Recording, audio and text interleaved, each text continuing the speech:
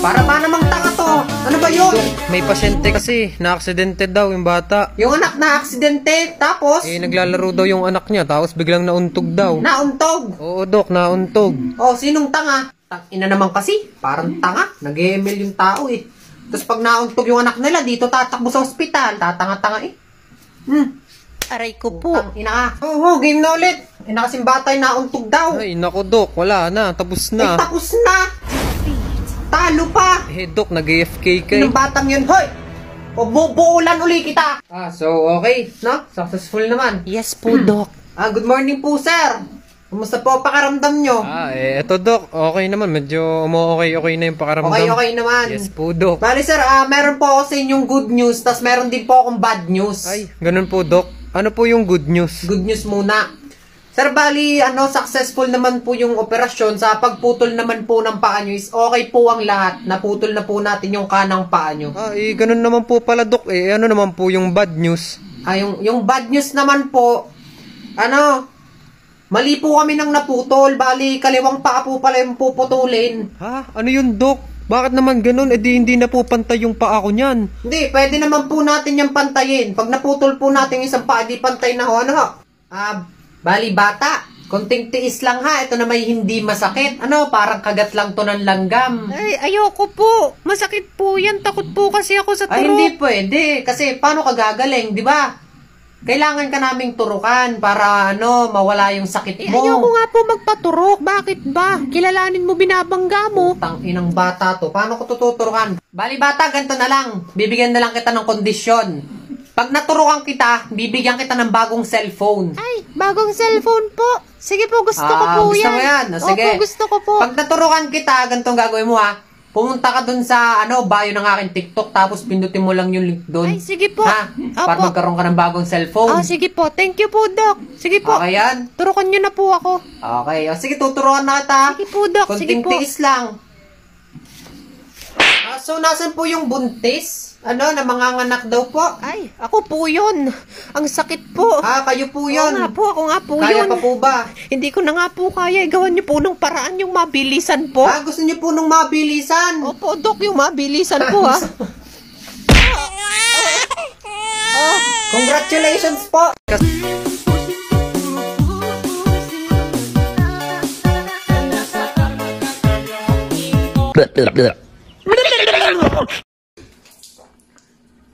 Tang ina mo.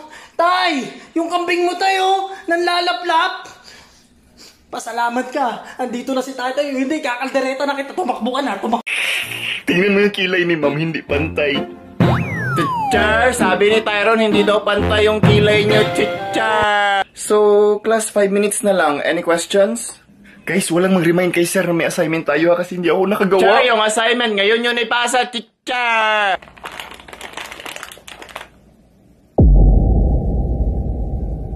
Kang maingay. Teacher!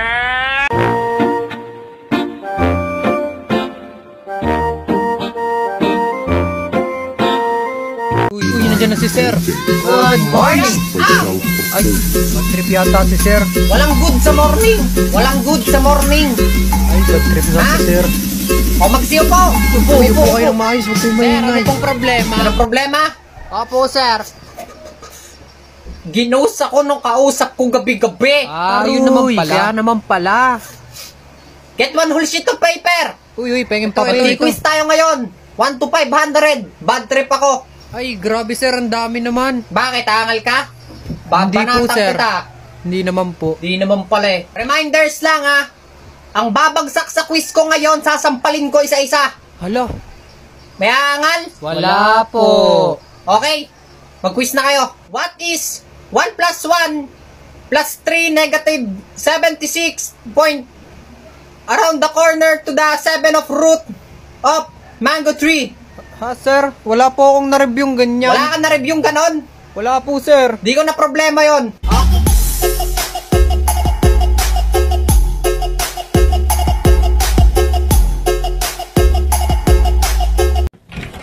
Anak, malilit ka na sa school.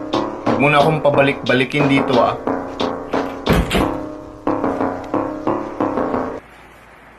Hindi ka pa babangon, ha?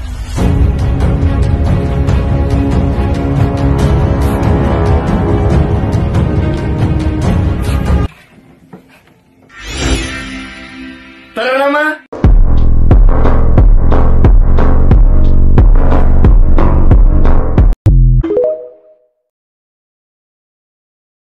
Tyron, sagutan mo nga tong problem dito sa blackboard. Kayo na po ang sumagot niyan, ma'am. Kaya nyo na yan. Bastos tong bata na to. Punta ka sa principal's office. Puro kautos. Kanina pinapasagot nyo ako tapos ngayon kung san-san nyo ako papuntahin. Kung ikaw kay utos-utosan ko, ha? O ito, pamasahe. Hugasan mo yung mga plato dun sa bahay. Labhan mo yung brief ko.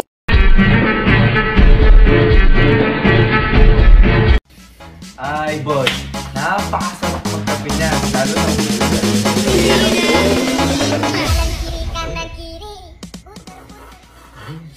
Sarap naman. Ah, sarap. Sarap magkape, boy. sarap nga magkape. Wala kang kape? Ha? Wala kang kape? Ay, oo nga pala. Nakalimutan ko yung kape ko. May kape ka din? Sarap pagkape, guys. kape, guys. Kaparis ito, tinapay. Bumili ako kanina ng tinapay. Teka. Bumili ka? Oo. Wala ka naman pera. Wala kanina. Ang bilog te. Ang tawag dito, ball bread. Ball Ball, bread. ball Ala- bread. Ala ko bad bread eh. Ang gagawin dyan, sasaw-saw na ganun. Ay, sarap nga niya. Oh. Oo, wow. Uy, meron ka din.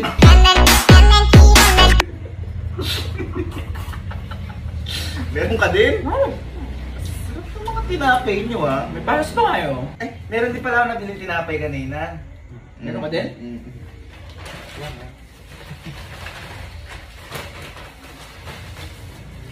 Sausaw ko lang. Guys, hindi ko na alam anong nangyayari. Lahat ng nakakasalubong ko gusto magpasapak sa akin. Hala, hello Tyron!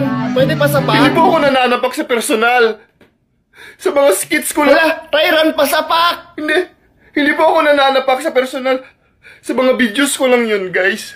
Huwag na kayo... Tyron, yung anak ko fan na fan, pwede mo bang Ma'am, sapakin? so- sorry, ma'am. Hindi po ako nananapak sa personal. Arte naman pala nito sa personal. Yawa! Thank you, Tyron!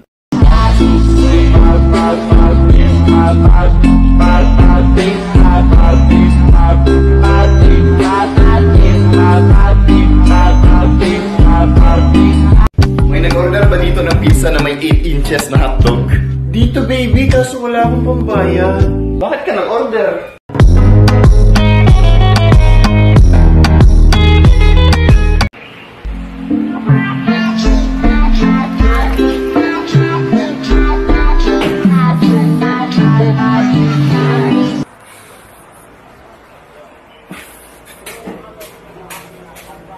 Ma, nawala ko yung tupperware niya.